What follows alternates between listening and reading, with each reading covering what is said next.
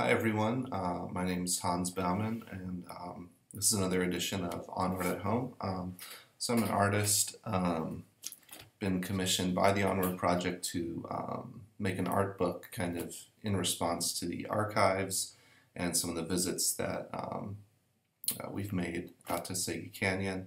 Um, but really just thinking about the Rainbow Bridge Monument Valley expedition and its kind of legacy and how we might understand with it today, how we might deal with the archival material. So, um, you know, now that we're in quarantine, I can't really go to the archives, um, and it's limited the scope of the work that I've been doing, but I've been getting some great support um, from you know, Allison and Maddie and, uh, of course, Elizabeth and others.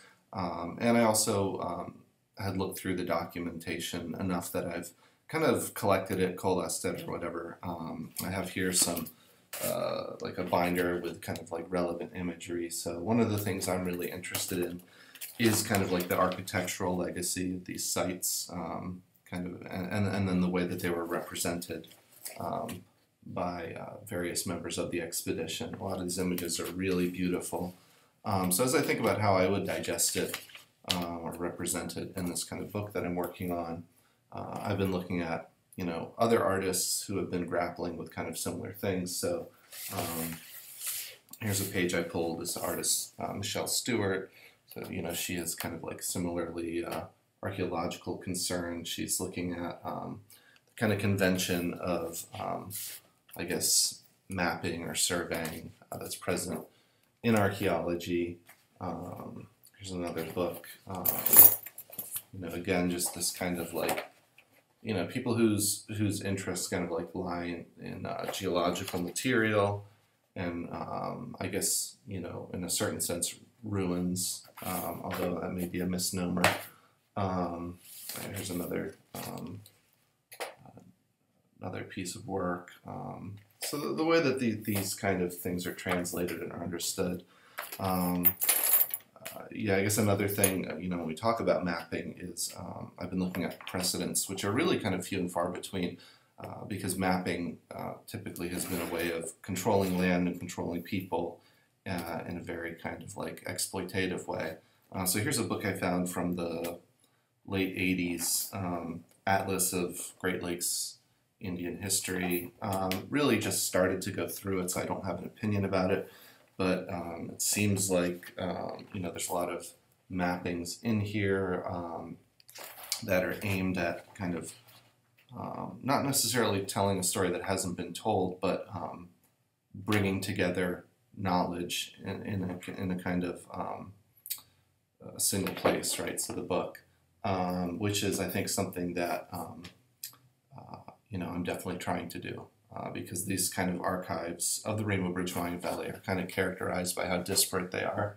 Um, here's another. Um, here's another uh, book.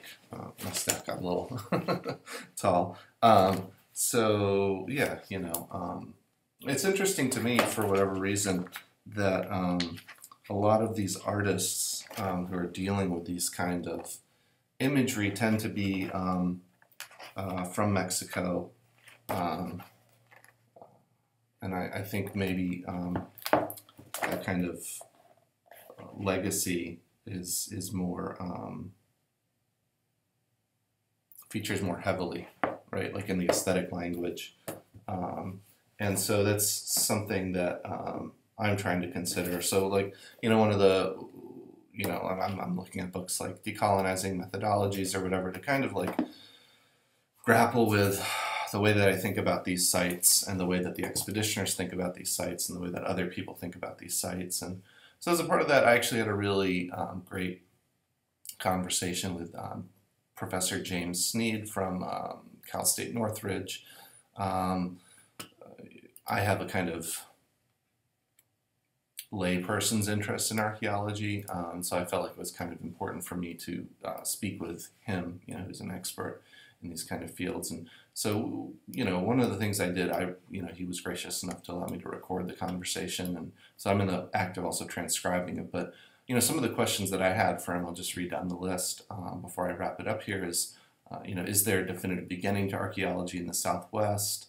Um, I was also interested in learning if, if, if some of the indigenous peoples of that region practiced something that we would consider archaeology or, or how they understood um, civilizations that were adjacent to them um, or ruins or how they considered ruins.